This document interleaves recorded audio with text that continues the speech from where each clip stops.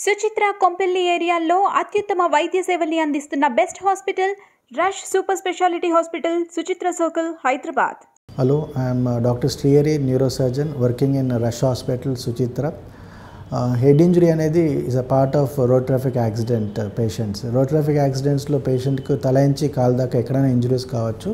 Head injuries కానీ chest injury కానీ abdomen injury కానీ లింబ్ ఇంజరీస్ కానీ సామాన్యంగా హెడ్ ఇంజరీస్ అంటే injury to the skull and brain inside ఈ head injury పేషెంట్స్లో road side accident కేసెస్లో వాళ్ళు అన్కాన్షియస్గా పడి ఉంటారు వాళ్ళని ఇమీడియట్లీ నియర్ బై హాస్పిటల్స్కి షిఫ్ట్ చేయాలి ఎమర్జెన్సీ కేర్ కోసం. ఆ ambulance services up to that mark ఉండాలి.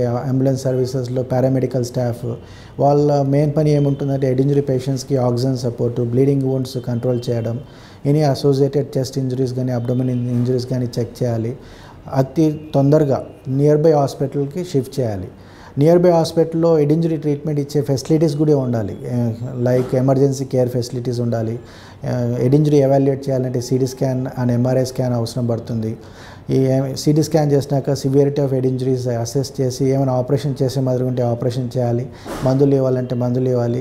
All these things will be done in ICU care ICU కేర్లో మంచి critical care team Uh, good support by anesthetists, ventilators, and group of sisters are involved in treating head injury patients. Head injury patients conditions usually సివియర్గా ఉంటుంది. చాలా outcome కూడా డిలేడ్గా కనబడుతుంది.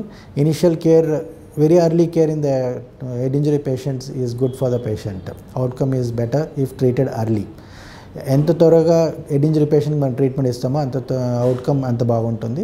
All head injury patients will not survive many patients will recover with some damage అన్ని brain damages కంప్లీట్గా recover కావు.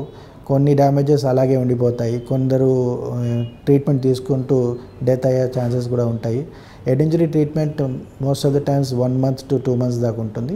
Recovery అనేది ఇట్స్ చాలా long process it will take one six months to one year head injuries most of the times road traffic accident most of the times less common reasons can be assault on the head ఏమైనా building collapse అయినప్పుడు slip అయ్యి ఇంట్లో పడినప్పుడు అట్లాంటి సందర్భాల్లో head injuries కావచ్చు. But most of the times head injury అనేది road traffic యాక్సిడెంట్స్లో ఉంటుంది కనబడుతుంది.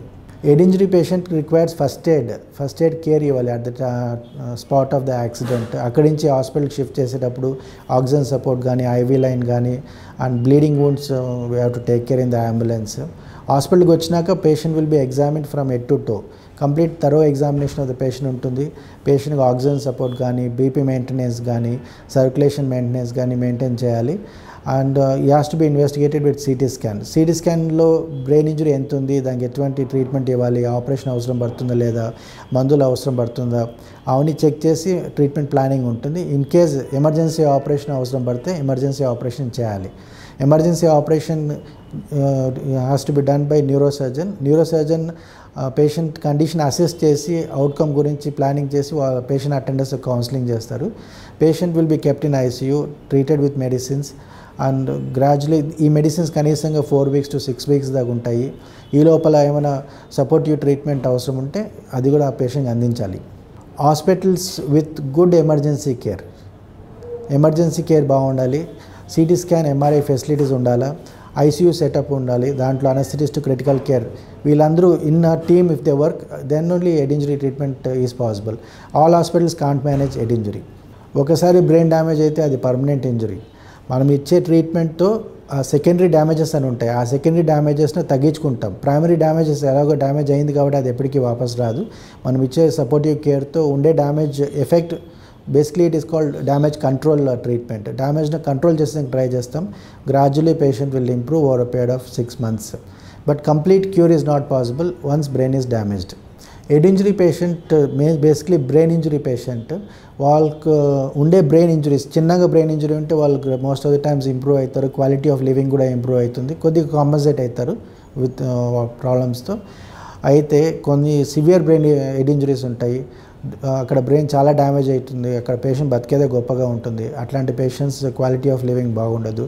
Over period of six months one year కొద్దిగా సర్వైవ్ అయ్యి కొన్ని కంప్లైంట్స్తో వాళ్ళు బతకాల్సిందే పర్మనెంట్ క్యూర్ అనేది ఉండదు బ్రెయిన్ ఇంజరీలో.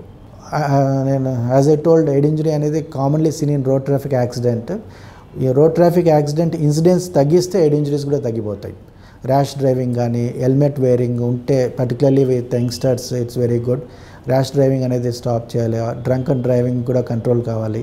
ఇవన్నీ చేస్తే head injury road traffic accidents తగ్గుతాయి. దాంతో పాటు హెడ్ ఇంజరీస్ కూడా తగ్గిపోతాయి.